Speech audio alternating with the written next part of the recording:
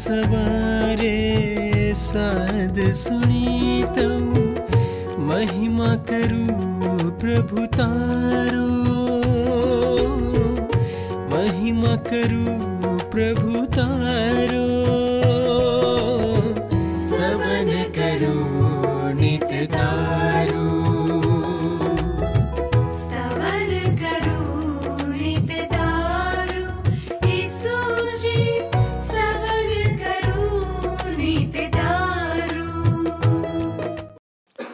પ્રિય મિત્રો, સ્તવન કાર્યક્રમમાં હું આપ સર્વનું હાર્દિક સ્વાગત કરું છું. આ કાર્યક્રમ સર્જનહાર ઈશ્વરના અવાજ પર આધારિત છે. ઈશ્વરે પ્રબોધકો દ્વારા જગતના લોકો સાથે વાતો કરી. આ દિવસોમાં તેમણે પોતાના પુત્ર ઈસુ ખ્રિસ્તના માધ્યમથી આપણી સાથે વાત કરી, જેને તેમણે બધી જ વસ્તુઓના વારસદાર બનાવ્યા. અને તેમના દ્વારા તેમણે સમગ્ર સૃષ્ટિનું સર્જન કર્યું. આ કાર્યક્રમમાં આપણે ઈશ્વર વિશે અભ્યાસ કરી રહ્યા છીએ. ઈશ્વર આજે પોતાના પુત્ર મારફતે આપણી સાથે જે સાક્ષાત્કાર કર્યો છે તેના દ્વારા આપણી સાથે વાત કરે છે. બાઇબલ સર્વશક્તિમાન ઈશ્વરનો સૌથી મોટો સાક્ષાત્કાર છે. જેના દ્વારા તે માનવ જીવન સાથે વાતચીત કરે છે. ઈશ્વરે તે વસ્તુઓ જાહેર કરી છે, જે તે પવિત્ર ગ્રંથ બાઇબલ દ્વારા માણસ સમક્ષ જાહેર કરવા માગતા હતા. બાઇબલમાં જે લખ્યું છે તે હજી પૂરું કરવાનું બાકી છે. જે બતાવે છે કે બાઇબલ એ માનવીય વિચાર પર આધારિત પુસ્તક નથી, પરંતુ ઈશ્વર દ્વારા પ્રેરિત પુસ્તક છે. આ સત્ય છે. ઈશ્વર આ વચનો દ્વારા બોલે છે. આ કાર્યક્રમે અનેક જીવનોનું ઘડતર કર્યું છે. આ વચનોમાં જીવન આપવાની શક્તિ છે. માણસ અનંતકાળ માટે મરવા માગતો નથી. બાઇબલમાં શાશ્વત જીવનનો માર્ગ બતાવેલો છે. બાઇબલમાં મૃત્યુથી પર જીવનની વાતો નોંધવામાં આવેલી છે. તેથી આપણે આ કાર્યક્રમમાં ઈશ્વરના વચનોનો પદ્ધતિસર અભ્યાસ કરી રહ્યા છીએ. જેથી આપણે જીવનની સૌથી મહત્વપૂર્ણ બાબતોને જાણી શકીએ. આપણી પાસે દુનિયાની દરેક પ્રકારની વસ્તુઓનું જ્ઞાન હોય, પણ આપણને ડહાપણ આપનારને આપણે જાણતા ના હોઈએ તો શું ફાયદો થશે? વહાલા દર્શક મિત્રો, બાઇબલ કહે છે, માણસ આખું જગત મેળવે અને પોતાનો જીવ ગુમાવે તો તેને શું લાભ થશે? ઈશ્વરને ન જાણવા તે બાબત આપણા જીવનને નુકસાન પહોંચાડે છે. માટે દરેક વ્યક્તિએ ઈશ્વરની વાત જાણવી જરૂરી છે. સ્તવન કાર્યક્રમમાં આ દિવસોમાં આપણે ઈસરાયેલી પ્રજાના ઇતિહાસ દ્વારા બાઇબલમાંથી, યહોસ્વના પુસ્તકમાંથી પરમેશ્વરના કાર્યને નિહાળી રહ્યા છીએ. આજે પણ આપણે આ પુસ્તકના અભ્યાસમાં આગળ વધીશું. પણ યાદ રાખો વાલા દર્શક મિત્રો, અમને મિસકોલ કરવાનું ચૂકશો નહીં.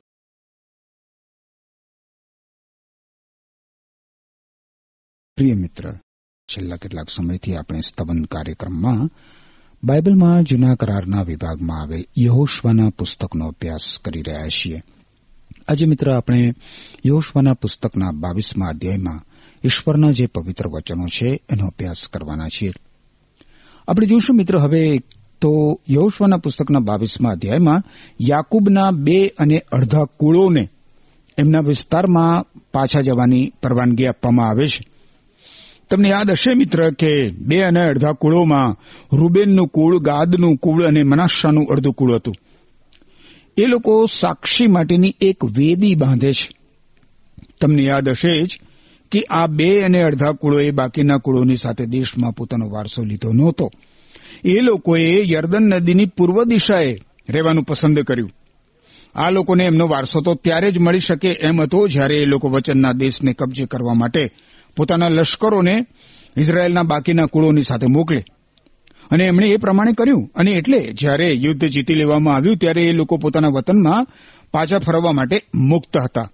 બાવીસમાં અધ્યાયની પ્રથમ ત્રણ કલમ જોશો મારી સાથે સાથે? યોશવાનું પુસ્તક, બાવીસમો અધ્યાય. ત્યારે યોશવાએ રેવ બેનીઓને તથા ગાદીઓને તથા મનાશેના અડધા કુળને બોલાવ્યા અને તેઓને કહ્યું, યહોવાના સેવક મૂસાએ જે આજ્ઞા તમને આપી હતી તે સર્વ તમે પાળી છે અને જે આજ્ઞાઓ મેં તમને આપી, તે સર્વ તમે શબ્દે શબ્દ પાળી છે. ઘણા દિવસથી આજ સુધી તમે તમારા ભાઈઓને તેજી દીધા નથી, પણ તમારા દેવ યહોવાની આજ્ઞામાં ફરમાવેલી ફરજ તમે બજાવી છે. ઇઝરાયેલના બે અને અડધા કુળો પોતાના વતનમાં પાછા ફરે એ અગાઉ યોશવા એ લોકોને એકત્રિત કરીને એમણે કરેલા સફળ કાર્ય માટેને એમની પ્રશંસા કરે છે. યોશવા એ લોકોને કહે છે કે એમણે પોતાના ભાઈઓની મદદ કરીને સારું કાર્ય કર્યું છે. તમે જુઓ મિત્ર, તો ગણનાના પુસ્તકમાં, ગણનાના પુસ્તકના બત્રીસમાં અધ્યાયની વીસથી બત્રીસ કલમો તમે જોશો. મારી સાથે સાથે ગણનાનું પુસ્તક બત્રીસમો અધ્યાય. તમે જુઓ, વીસથી બત્રીસ કલમો. શું લખ્યું છે? અને મૂસાએ તેઓને કહ્યું, જો તમે આમ કરશો એટલે જો શસ્ત્ર સજ્જિત થઈને તમે યહોવાની સન્મુખ લડાઈમાં જશો, ને તમારામાંના સર્વ શસ્ત્ર સજ્જિત માણસો યહોવાની સન્મુખ યર્દન પાર જશો, એટલે સુધી કે તેઓ પોતાની આગળથી પોતાના શત્રુઓની હાંકી કાઢે, ને દેશ યહોની આગળ વશ થઈ જાય. તો પછી તમે પાછા આવશો અને યહોવા તથા ઇઝરાયેલ વિશે નિરપરાધી ઠરશો. અને યહોવાની આગળ આ દેશ તમારું વતન થશે. પણ જો તમે એમ કરશો નહીં, તો જુઓ, યહોવાની વિરુદ્ધ તમે પાપ કર્યું જાણજો અને નિશ્ચય જાણજો કે તમારું પાપ તમને પકડી પાડશે. તમે તમારા બાળકોને સારું નગરો તથા તમારા ઢોરોને સારું વાળા બાંધો અને તમે જેમ કહ્યું છે તેમ કરો. અને ગાદના પુત્રોએ તથા રેવબેનના પુત્રોએ મૂસાને કહ્યું, અમારા ધણીના ફરમાવ્યા પ્રમાણે તારા દાસો કરશે. અમારા બાળકો, અમારી સ્ત્રીઓ, અમારા ઘેટા બકરા તથા અમારા સર્વ ઢોર ઢાંક ત્યાં ગિલઆદના નગરોમાં રહેશે. પણ યુદ્ધને માટે શસ્ત્ર સજ્જિત થયેલા તારો પ્રત્યેક દાસ મારા ધણીના કહેવા મુજબ યહોવાની સન્મુખ લડાઈ કરવાને પીલી પાર જશે. અને તેવો વિષય મૂસાએ એલાઝાર યાજકને તથા નૂનના દીકરા યોશવાને તથા ઇઝરાયેલ પુત્રોના કુળોના કુટુંબોના મુખ્ય માણસોને ભાળવણ કરી. અને મૂસાએ તેઓને કહ્યું, જો ગાદના પુત્રો માનો તથા રેવબનના પુત્રો માનો, યુદ્ધને સારું શસ્ત્ર સજ્જિત થયેલો પ્રત્યેક માણસ યહોવાની સન્મુખ તમારી સાથે યર્દનને પેલે પાર જાય ને તમારી આગળ તે દેશ વસ થાય, તો તમે વતનને સારું તેઓને ગિલિયાદ દેશ આપજો. પણ જો તેઓ શસ્ત્ર સજ્જિત થઈને તમારી સાથે પેલે પાર ન જાય, તો તેઓ કનાન દેશમાં તમારી મધ્ય વતન પામે અને ગાદના પુત્રોએ તથા રેવબેનના પુત્રોએ ઉત્તર દીધો, જેમ યહોવાએ તારા દાસોને કહ્યું છે, તેમ અમે કરીશું. યહોવાની આગળ શસ્ત્ર સજ્જિત થઈને અમે કનાન દેશમાં પાર ઉતરીશું અને યર્દનની પૂર્વે અમારા વારસાનું વતન અમારે સારું રહેશે. હવે મિત્ર, તમે જુઓ તો યહોશવાના જ પુસ્તકના પહેલા અધ્યાયની બારથી પંદર કલમોમાં લખવામાં આવ્યું છે, અને રેવ બેન્યુએ તથા ગાદીઓને તથા મનાશેના સર્વ કુળોને યહોશવા એમ કહ્યું કે યહોવાના સેવક મૂસાએ તમને જે વાત કહી હતી કે તમારો દેવ યહોવા તમને વિસામો આપે છે અને તમને આ દેશ આપશે તે યાદ રાખો. યર્દન પાર જે દેશ મૂસાએ તમને આપ્યો તેમાં તમારી સ્ત્રીઓ, તમારા બાળકો તથા તમારા ઢોર ઢાંક રહે. પણ તમે સર્વ બળવાન તથા બહાદુર પુરુષોએ શસ્ત્ર સજીને તમારા ભાઈઓની આગળ પેલી ગમ જઈને તેઓને સહાય કરવી. યહોવાએ જેમ તમને વિસામો આપ્યો તેમ તે તમારા ભાઈઓને આપે અને જે દેશ તમારો દેવ યહોવા તેઓને આપે છે, તેનું વતન તેઓ પણ પ્રાપ્ત કરે ત્યાં સુધી તમારે તેઓને સહાય કરવી. ત્યાર પછી તમે તમારા વતનના દેશમાં પાછા જાઓ ને યહોવાના સેવક મુસાએ યર્દન પાર ઉગમણી દિશાએ જે દેશ તમને આપ્યો તેનો કબજો લો. હવે યહોશવા આ લોકોને એક બીજી ચેતવણી આપે છે. જુઓ યહોશવાનું પુસ્તક બાવીસમો અધ્યાય, પાંચમી કલમ. ફક્ત જે આજ્ઞા તથા નિયમ યહોવાના સેવક મુસાએ તમને ફરમાવ્યા, એટલે કે પોતાના દેવ યહોવા ઉપર પ્રીતિ કરવી, ને તેના સર્વ માર્ગોમાં ચાલવું, ને તેની આજ્ઞાઓ પાળવી, ને તેને વળગી રહેવું, ને તમારા ખરા મનથી ને તમારા ખરા જીવથી તેની સેવા કરવી, તે સર્વ તમે ઘણી ખંતથી પાળજો. તમે જોયું મિત્ર? યાકુબના આ કુળોને ચેતવણી આપવામાં આવે છે કે જો કે તેઓએ યર્દન નદીની ખોટી બાજુએ સ્થાયી થવાનું પસંદ કર્યું છે, તેમ છતાં તેમણે મૂસાની પદ્ધતિને અનુસરવાનું જ છે. યહોશુઆએ આ લોકોને ચેતવણી આપ્યા પછી તેમને આશીર્વાદ આપીને રવાના કરે છે. છ થી નવ કલમો જોઈશું. યહોશવાનું પુસ્તક બાવીસમો અધ્યાય છ થી નવ કલમો. જુઓ શું લખ્યું છે? એમ યહોશવાએ તેઓને આશીર્વાદ આપીને વિદાય કર્યા અને તેઓ પોતાના તંબુઓમાં પાછા ગયા. હવે મનાશેના અર્ધા કુળને મૂસાએ બાશાનમાં વતન આપ્યું હતું, પણ તેના બીજા અર્ધ ભાગને યહોશવાએ તેઓના ભાઈઓ સાથે પશ્ચિમમાં યર્દન પાર વતન આપ્યું. વળી જ્યારે યહોશવાએ તેઓને તેઓના તંબુઓમાં મોકલી દીધા, ત્યારે તેણે તેઓને આશીર્વાદ દીધો. અને તેણે તેઓને કહ્યું કે ઘણું દ્રવ્ય ને પુષ્કળ ઢોર, રૂપું, સોનું, તાંબુ ને લોઢું ને પુષ્કળ વસ્ત્રો લઈને પોતપોતાના તંબુઓમાં પાછા જાઓ. તમારા ભાઈઓ સાથે તમારા શત્રુઓ પાસેથી મેળવેલી લૂંટ વહેંચી લેજો.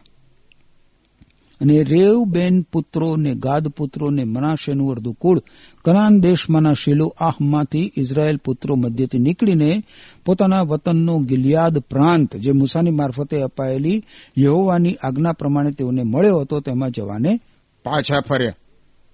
યાકુબના બે અને અડધા કુળો આપણે જોઈએ છીએ એ પ્રમાણે પોતપોતાના વતનમાં પાછા ફરે છે. હવે દસમી કલમ જુઓ. અને યર્દનની પાસેનો જે પ્રદેશ કનાન દેશમાં છે ત્યાં રેવબેન પુત્રો અને ગાત પુત્રો અને મનાશનું અર્ધકુળ આવી પહોંચ્યા. ત્યારે ત્યાં યર્દન પાસે તેઓએ દૂરથી દેખાય એવી મોટી વેદી બાંધી. યાકુબના આ બે અને અડધા કુળોએ યર્દન નદીની પશ્ચિમ દિશામાં આ વેદી બાંધી. અને આ વેદી કેવી હતી? દૂરથી જોઈ શકાય એવી હતી.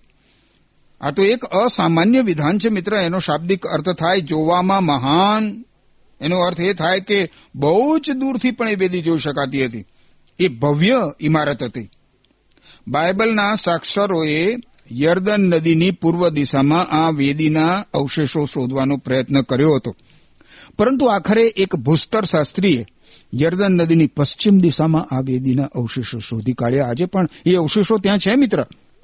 એ વેદી દેખાવમાં ભવ્ય હતી. જ્યારે બાકીના ઇઝરાયેલી લોકોએ આ વિશે સાંભળ્યું ત્યારે એ લોકો વ્યાકુળ, આકુળ વ્યાકુળ બની ગયા. અને શિલોમાં એ લોકો બધા એકઠા થયા, અગિયારમી ને બારમી કલમ જુઓ. શું કહે છે અહીંયા? અને ઇસરાયેલ પુત્રોને એવી ખબર મળી કે રેવબેન પુત્રોએ ને ગાદ પુત્રોએ ને મરણાશાના અડધા કોળે કનાન દેશને મોખરે યર્દન પાસેના પ્રદેશમાં તથા ઇઝરાયેલ પુત્રોની ભૂમિની બાજુએ એક વેદી બાંધી છે. ઇઝરાયેલ પુત્રોએ તે સાંભળ્યું ત્યારે તેઓની આખી જમાત તેમની સામે યુદ્ધ કરવા સારું શિલોમાં ભેગી થઈ.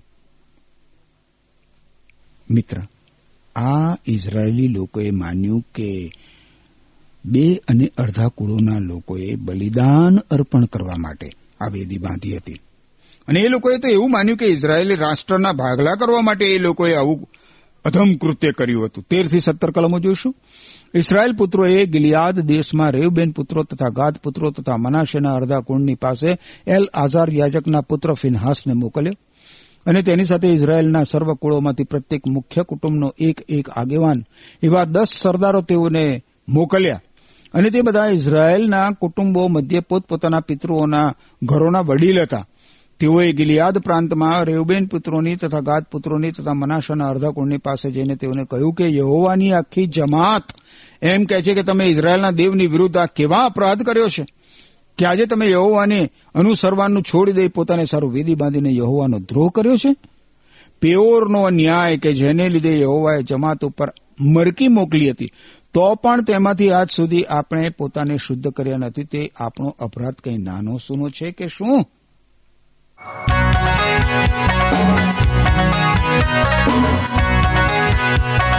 હે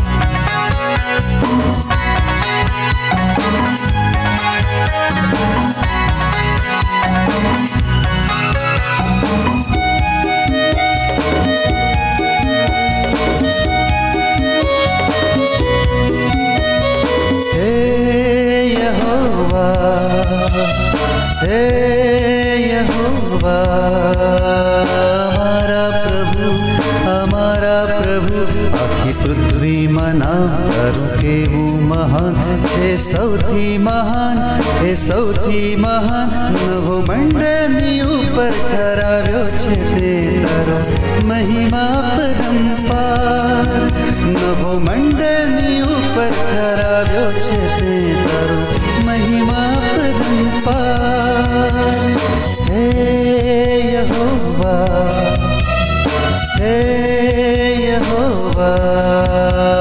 અમારા પ્રભુ અમારા પ્રભુ આખી પૃથ્વીમાં નામ તારું કેવું મહાન છે સૌથી મહાન એ સૌથી મહાન નવો મંડળની ઉપર કરાવ્યો છે તે તારો મહિમા પરંપાર નવો મંડળની ઉપર કરાવ્યો છે તે તારો મહિમા પરંપાર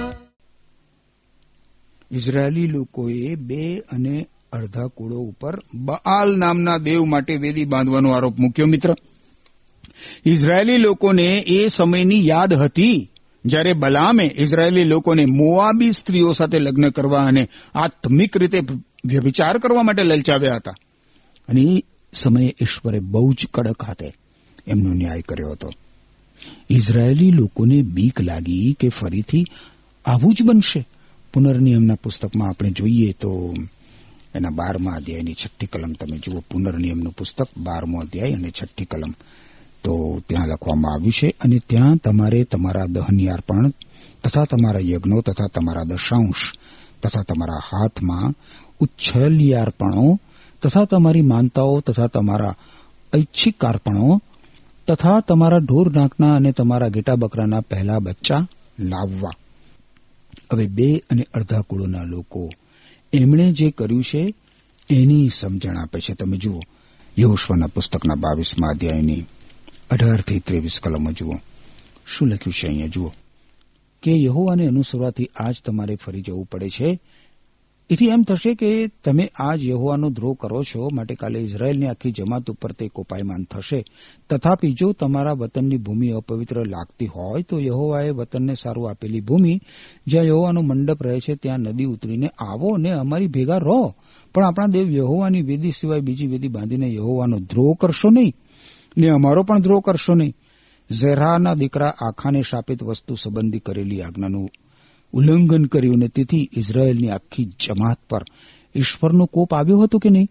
અને તે માણસ એકલો જ પોતાના અન્યાયમાં નાશ પામ્યો એમ નથી? ત્યારે શું થાય છે? રેવબેન પુત્રોએ તથા ગાદ પુત્રોએ તથા મનાશાના અર્ધા કુળે ઇઝરાયેલના હજારોના વડીલોને ઉત્તર આપ્યો કે દેવોનો દેવ યહોવા, દેવોનો દેવ યહોવા. એ જાણે છે કે ઇઝરાયેલ પણ જાણશે કે યહોવાનો દ્રોહ કર્યાથી અથવા તેની આજ્ઞાનું ઉલ્લંઘન કર્યાથી આજે તું અમારો બચાવ કરીશ નહીં. જો અમે યહોવાને અનુસરવાનું તેજી દેવા સારું વેદી બાંધી હોય કે જો તે પર દહનિયાર્પણ કે ખાદ્યાર્પણ કે શાંત્યાર્પણોના યજ્ઞ કરવા સારું બાંધી હોય, તો યહોવા પોતે જ અમારી પાસેથી તેનો જવાબ લે. ઇઝરાયેલના બે અને અડધા કુળોએ બલિદાનો અર્પવા માટે આ વેદી નહોતી બાંધી, મિત્ર? આ વેદી માત્ર એટલા માટે જ બાંધવામાં આવી હતી, એટલી જ યાદ અપાવવા માટે. કે આ બે અને અડધા કુળો ઇઝરાયેલ પ્રજાનો જ એક ભાગ છે. મુલાકાત મંડપમાં દહનાર્પણ કરવા માટેની વેદી જેવી જ આ વેદી જોકે હતી અને તે પુષ્કળ મોટી પણ હતી, પરંતુ બલિદાનો અર્પવા માટે એને બાંધવામાં નહોતી આવી. ચોવીસથી ત્રીસ કલમો જોશો. આગળ. અહીં શું કહે છે?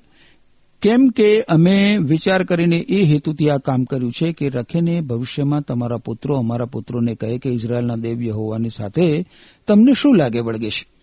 કેમ કે હે રેવબેન પુત્રો અને ગાદ પુત્રો, તમારી અને અમારી વચ્ચે યહોવાએ યર્દનની સરહદ ઠરાવી છે. તેથી તમને યહોવાની સાથે કંઈ લાગતું વળગતું નથી? એમ કહીને તમારા પુત્રો અમારા પુત્રોને યહોવાનું ભય રાખતા અટકાવે માટે અમે કહ્યું કે આપણે પોતાને સારું વેદી બાંધવાની તૈયારી કરીએ. દનિયારપણોને સારું નહીં કે યજ્ઞ સારું નહીં? પણ અમારી ને તમારી મધ્યને, આપણી પાછળ આપણા સંતાનોની વચ્ચે એ સાક્ષીરૂપ થાય કે અમારા દહનાર્પણથી ને અમારા યજ્ઞથી ને અમારા શાંત્યાર્પણથી યહોવાની સેવા કરવાનો અમને પણ હક છે. જેથી ભવિષ્યમાં તમારા વંશજો, અમારા વંશજોને એવું ના કહે કે તમને યહોવાની સાથે કંઈ લાગતું વળગતું નથી. માટે અમે કહ્યું કે તેઓ ભવિષ્યમાં અમને કે અમારા સંતાનોને એમ કહે ત્યારે અમે તેઓને આ પ્રમાણે કહીશું કે યહોવાની વેદીનો નમૂનો જુઓ. એ અમારા પિતૃઓએ ઊભી કરેલી છે. દનિયાર પણ અથવા યજ્ઞને સારું નહીં, પણ એ તો અમારી ને તમારી વચ્ચે સાક્ષીરૂપ થવા સારું છે. આગળ જુઓ, ઓગણત્રીસ ત્રીસ કલમ. અમારા દેવ યહોવાના મંડપની સામે જે તેની વિધિ છે, તે સિવાય અમે દહનાર્પણ કે ખાદ્યાર્પણ કે યજ્ઞને સારું બીજી વિધિ બાંધીને યહોવાનો ધ્રોહ કરીએ ને યહોવાને અનુસરવાનું છોડી દઈએ, એવું કદી ના થાવ. રે બેન પુત્રોએ તથા ગાદ પુત્રોએ તથા મનાસા પુત્રોએ જે વચન કહ્યા તે ફિનહાસ યાજકે અને તેની સાથે જમાતના જે સરદારો એટલે ઇઝરાયેલના હજારોના વડીલો હતા તેઓએ સાંભળ્યા ત્યારે તેઓને બહુ સારું લાગ્યું. ઇઝરાયેલના બે અને અડધા કુળો એમણે જે કર્યું હતું એમાં બહુ જ પ્રમાણિક હતા મિત્ર. અને ઇઝરાયેલના બાકીના નવ અને અડધા કુળો એ તેમણે આપેલી સમજણનો સ્વીકાર કર્યો. આપણે વાંચ્યું એ પ્રમાણે એકત્રીસમી કલમ. અને એલ આઝર યાજકના દીકરા ફિનાસે રેવબેન પુત્રોને તથા ગાત પુત્રોને તથા મનાશેના પુત્રોને કહ્યું, આજે અમને ખાતરી થઈ છે કે યહોવા આપણી મધ્યે છે, કેમ કે આમાં તમે યહોવાની આજ્ઞાનું ઉલ્લંઘન કર્યું નથી. હવે તો તમે ઇઝરાયલ પુત્રોને યહોવાના હાથમાંથી છોડાવ્યા છે. ઇસરાયેલના બાકીના કુળોને ખ્યાલ આવ્યો કે બે અને અડધા કુળો ઉપર આરોપ મૂકવામાં એમણે ઉતાવળ કરી નાખી હતી. આપણામાં પણ મિત્ર ક્યારેક આવી ઉતાવળ જોવા મળે છે. આપણે જે કહેવું ના જોઈએ અને જે કરવું ના જોઈએ, એ આપણે ઘણી વાર બોલી નાખીએ છીએ અને કરી નાખીએ છીએ. ઇઝરાયેલના બાકીના કુળે પોતાના ભાઈઓ વિરુદ્ધ યુદ્ધ કરવાના વિચારો કરીને બહુ જ મોટી ભૂલ કરી હતી. બત્રીસથી ચોત્રીસ કલમો હવે આગળ આપણે જોઈએ. અને અલાઝાર યાજકના પુત્ર ફિનહાશે અને તે સરદારોએ રેબેન પુત્રો પાસેથી અને ગાત પુત્રો પાસેથી ગિલિયાદ પ્રાંતમાંથી કનાન દેશમાં પાછા આવીને ઇસરાયેલ પુત્રોને ખબર આપી.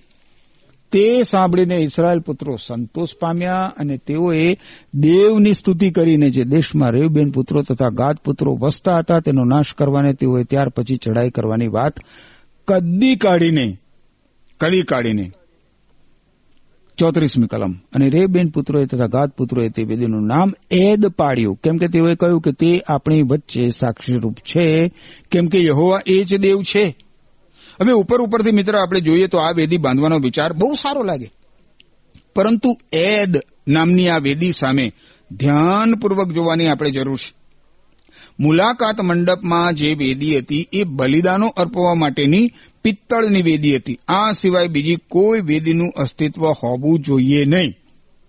ઇઝરાયેલી લોકોને કહેવામાં આવ્યું હતું કે બાકીની બધી જ વેદીઓનો એમણે નાશ કરી નાખવો.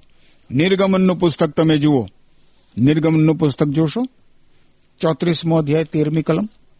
શું કહે છે? પણ તમારે તેઓની વેદીઓ તોડી પાડવી ને તેમના સ્તંભોને ભાંગી નાખવા અને તેમની અશેરા મૂર્તિઓને કાપી નાખવી. ઇઝરાયેલ લોકોના બે અને અડધા કુળોએ યર્દન નદી પાર કરી નહીં. હવે ખરેખર તો યર્દન નદી એ તો એમને એમના ભાઈઓથી અલગ પાડે છે. આ વેદી આ ભાગલાનો ખ્યાલ આપતી હતી. આ વેદી જે બે અને અડધા કુળોએ બાંધી, એ દર્શાવતી હતી કે એ લોકો વિભાજિત થયેલા છે. પાછળથી આવું વિભાજન થવાનો માર્ગ એ કરી આપે છે. અત્યારે પણ મિત્ર, ઇઝરાયલ દેશ પૂર્વ અને પશ્ચિમ વિભાગોમાં વિભાજિત થયેલો છે.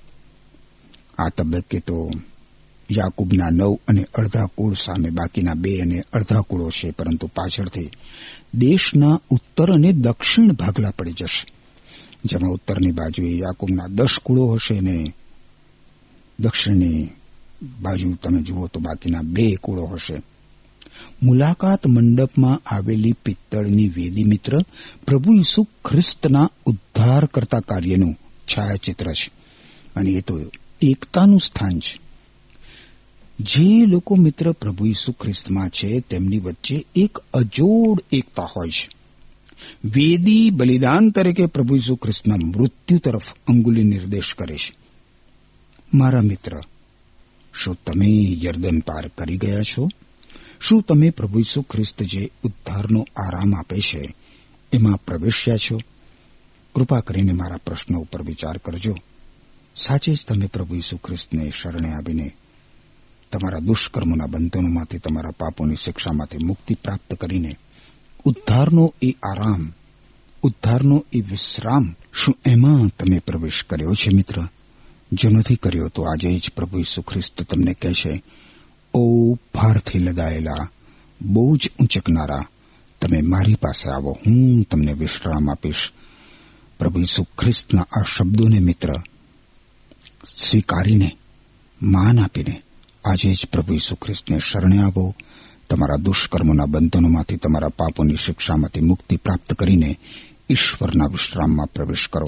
ઈશ્વર તમને આશીષ આપો. આમેન. વહાલા દર્શક મિત્રો, પ્રેમાળ પ્રભુ ઈસુ ખ્રિસ્ત માતીની લખેલી સુવાર્તા તેના અગિયારમા અધ્યાયની અઠ્યાવીસ અને ઓગણત્રીસમી કલમમાં આ પ્રમાણે કહે છે, ઓ વૈતરું કરનારાઓ, તથા ભારથી લદાયેલાઓ, તમે સઘળા મારી પાસે આવો. ને હું તમને વિસામો આપીશ. મારી જુસરી તમે પોતા પર લો ને મારી પાસે શીખો. કેમ કે હું મનમાં નમ્ર તથા રાંકડો છું. ને તમે તમારા જીવનમાં વિસામો પામશો. ઈશ્વરે ઈસરાયલને કનાનની ભૂમિ આપીને આરામ આપ્યો. પરંતુ ઈશ્વરે ઈસુમાં જે કાર્ય કર્યું છે, એટલે કે પાપમાંથી મુક્ત થવાનું કાર્ય, તે કાયમી અને શાશ્વત વિશ્રામ છે. તેથી ઈસુ જગતના દરેક લોકોને પોતાની પાસે આવવા વિનંતી કરે છે. શું તમને તેમની પાસે આવીને પાપના બંધનમાંથી છુટકારો મેળવવો ગમશે? શું તમે પાપમાંથી મુક્ત થવાની ઈચ્છા રાખો છો? ઈસુએ તમારા પાપને વધસ્તંભ ઉપર લઈ લીધા છે.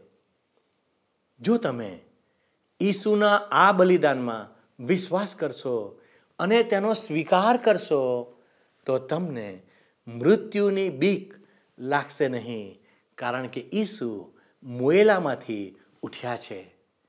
ઈસુએ કહ્યું, પુનરુત્થાન અને જીવન હું છું જે કોઈ વ્યક્તિ મારામાં વિશ્વાસ કરે છે, તે જો મૃત્યુ પામે, તો પણ તે જીવશે. તેમણે દરેક પાપીને આરામ આપ્યો છે. તેમણે જે કિંમત ચૂકવવાની હતી, તે તેમણે ચૂકવી દીધી છે. ઈસુએ તમારા પાપની કિંમત ચૂકવી છે. આ બાબત પર વિશ્વાસ કરવાથી તમે અનંત જીવનના ભાગીદાર બનો છો. આ વાત સત્ય છે. ઈશ્વરનું વચન આપણને જીવન આપવા માટે છે. પરંતુ આપણે તેમાં વિશ્વાસ કરીએ છીએ કે નહીં? તેના પર તેનો આધાર છે. વહાલા દર્શક મિત્રો, ઘણા દિવસો ખરાબ હોય છે. આપણે જાણતા નથી કે આપણે આ પૃથ્વી પરનું આપણું જીવન ક્યારે પૂર્ણ કરીશું.